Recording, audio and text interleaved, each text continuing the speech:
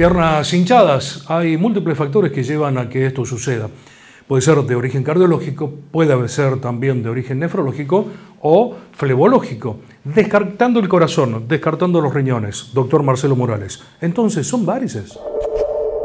Y seguramente que puede ser que sí, porque a veces, eh, digamos... Eh, ¿Se coexisten varias enfermedades exactamente. con un mismo síntoma? Yo creo que acá hay, un, hay una serie de cosas que pueden desarrollarse. Por un lado, yo puedo observar un paciente que veo algo que me llama la atención y derivarlo al cardiólogo, al nefrólogo o a alguna especialidad, porque yo digo, está bien, tiene varices el paciente, pero también hay algo asociado a esto. Y el otro especialista puede hacer lo mismo, es decir, estoy tratando eh, la insuficiencia cardíaca, pero el paciente sigue con síntomas o sigue con algo que puede estar relacionado a la parte flebológica y ahí es donde tiene que desarrollarlo. Y creo que eso es un poco eh, la idea de sí trabajar con especialidades, con otros especialistas y siempre es importante eso. Y a veces pasa, por ejemplo, que el paciente viene con un dolor intenso en su miembro inferior y lo relaciona a, a lo mejor a, un problema del nervio ciático, dolores, etcétera, que pueden estar relacionados.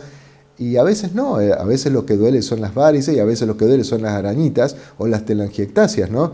Entonces el traumatólogo a veces dice, mire, yo le hice tal tratamiento, tal otra cosa, pero me gustaría que vea al flebólogo.